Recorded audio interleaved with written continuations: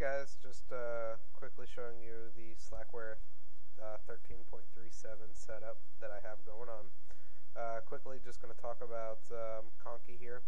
It's a nice little uh, resource monitor.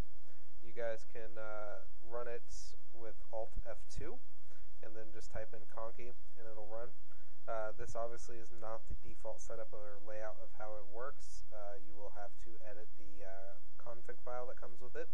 It'll be in your root system, which is right here, and you got to show hidden folder. So Control H will show uh, your hidden uh, folders here, and I have it right here. Let me see where it was. Conky RC. Alright, and I had to create this uh, folder in my root uh, folder here, or this file in the root folder, and you can copy the default um, from where it installs. I forget exactly where it is. Anyways, um, I'll show you guys that real quick.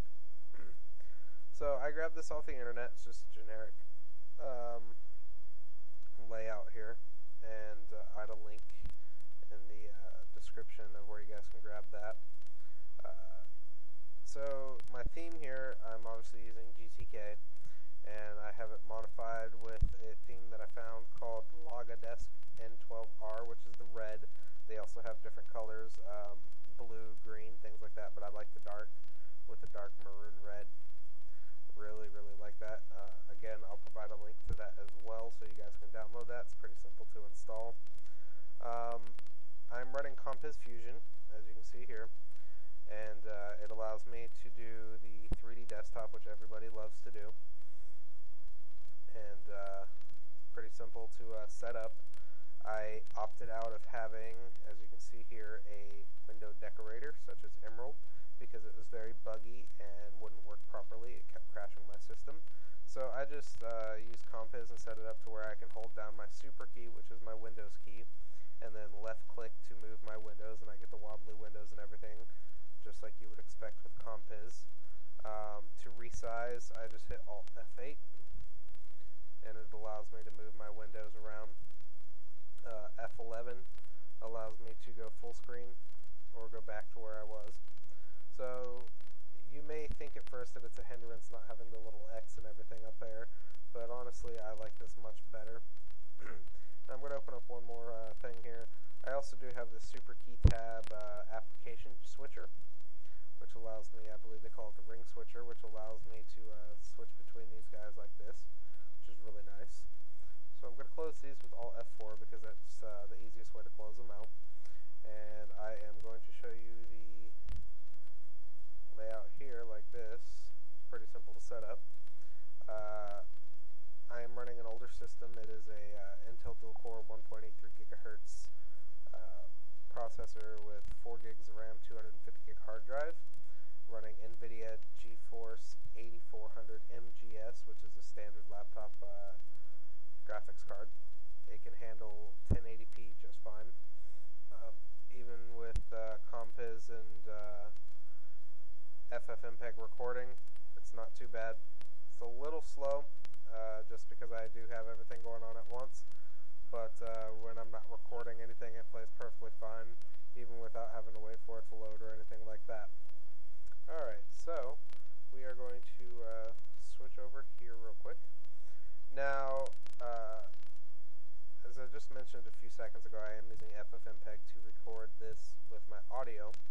Now, just a quick note on audio the ALSA does not recognize my card, which it doesn't recognize a lot of the cards. I'm running a Realtek HD audio. I think it's the ACL uh, 268 or 268 or something like that.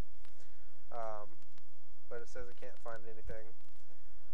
So, not to worry because ALSA Mixer still works and allows me to set my audio levels. Oh, I guess it helps to spell that one right. Can't see, I got all my lights turned off here. So I can turn everything up, and it recognizes that it is HDA, or, yeah, HDA Intel, the uh, 268, okay. Uh, it allows me to do my captures and everything just fine. Um, close that out. And uh, so I tried gtk-recordMyDesktop, and it didn't work. So I tried Xvid, it didn't work. So I just said screw it. I downloaded FFmpeg, and I already had all the libraries and everything when I installed VLC uh, to run FFmpeg because I installed VLC with every library enabled. Uh, so it took a little bit of time to do that because again with Slackware you have to uh, either compile from source or use a Slack build or something like that to get it to go. And there are a lot of libraries uh, that you can have with it. But I uh, spent about an hour doing it, so it wasn't too bad. Anyways, I created this nice little executable shell script here called record. And what it does, it's got a little bash script up here to uh, allow me to run it. It's just an FFmpeg script that I pass on and uh, as you can see here, it runs ALSA for my audio. It forces FFmpeg, which uh, standard only uses one channel, to use two channels for the audio because I am using a stereo mic. Uh, my default sound card is HW00. You can find that out by typing in, I believe it's arecord dash L, and it'll tell you what your sound card is. Uh, then you have your screen capture, uh, 30 frames a second resolution. Uh, video card. I'm using uh, Lame MP3 as my audio codec, the H.264 uh, codec for video, and I am using AVI as my output. Now let me close that out real quick. We'll open up another terminal, and I'll show you guys what I was talking about with the arecord dash L. Oops, L. So you can see here I have it set to card 0 Intel HDA Intel, and it has one sub device. Uh, so, or actually, sorry, no sub device. Anyways, whatever. That is how you get it. Just set it to uh, either HW00, HW10, uh, depending on if your card is card 0 or card 1. If you have a sub device such as a microphone or something like that, uh, you could do 0, 1, 1, 1, depending on how your setup is. So, uh, as far as that, that wasn't too bad to get set up. It did take a little bit of research to figure out exactly uh, what options I needed pass FFmpeg to get this to work properly. Um, as far as extras, though, I mean, it's pretty self-explanatory if you're a Slackware, Slackware user from the past. Uh, Slack builds, repositories, things like that. Um, I like to download everything off of slackbuilds.org, and uh, it's just so easy because all you do is extract the Slack build, then move the source code into that um, Slack build executable, execute it, creates a package, move that package to the temporary folder, and then use install package to uh, get it to actually install onto the system. Uh, I'm running XAMPP, uh, which is a server, Apache server, PHP, MySQL, all that fun stuff. Pretty easy to set up. Um, development, Bluefish Editor, NetBeans. Uh, use this quite a bit. Don't like Eclipse that much. Um, graphics, just the basic graphics that came with this. Uh, as I said before, VLC Media. Uh, these two I still got to remove. Network, I did install FileZilla because I do do quite a bit of web development. Uh, Firefox, I'm still using the standard 4.0 that came with it. We'll have to upgrade that. Um, also, remember you need to install the Flash Player um, into the plugins folder for Firefox. um, the Wicd Manager, uh, that was a little difficult to get set up because at first there was a dbus error. Uh, I had to go and edit a few files and eventually got it working. Uh, I used Qubit torrents. Um, pretty useful. Uh, the WPA GUI didn't work for me for whatever reason. Um, I don't know why, but uh, I am running a WPA2 system here at my house. As you can see here, WPA2. And so I opted for the Wicd manager there. Uh, what else do I have on here? I think that's pretty much uh, it. Uh, World of Warcraft didn't install properly. I am using Wine.